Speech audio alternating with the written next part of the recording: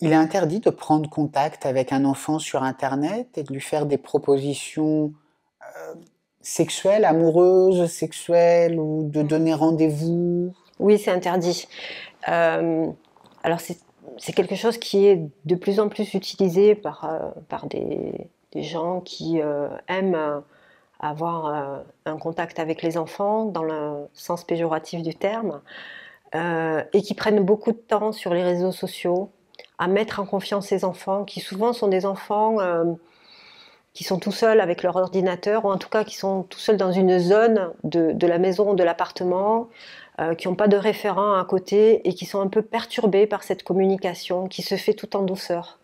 Rarement l'adulte, puisque souvent il s'agit d'adultes, rarement va lui imposer des termes sexuels non appropriés. C'est vraiment tout en douceur, avec des euh, langages d'adolescents, qui est adapté avec euh, des, connaissances sur euh, les loisirs ou ce qu'aiment ce les ados. Et ça va parfois durer des semaines, voire des mois, avant qu'il y ait une connotation sexuelle.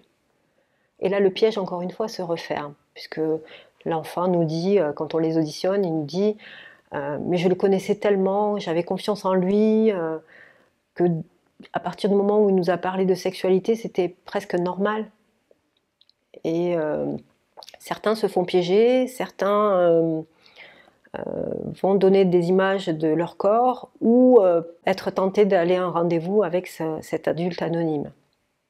Là encore, on pourrait se dire, au rendez-vous, ils vont bien se rendre compte que l'adulte ne correspond pas forcément à l'interlocuteur qu'ils pensaient, mais là encore, ça ne les arrête pas toujours une fois qu'ils sont devant euh, le correspondant, ils se disent bon, ben finalement, je ne vais pas m'arrêter à l'enveloppe corporelle. On se connaît depuis tellement de temps que c'est pas grave. Il a 10 ans de plus, mais c'est pas grave. Et on a des adultes qui arrivent à agresser euh, des adolescents de cette façon-là.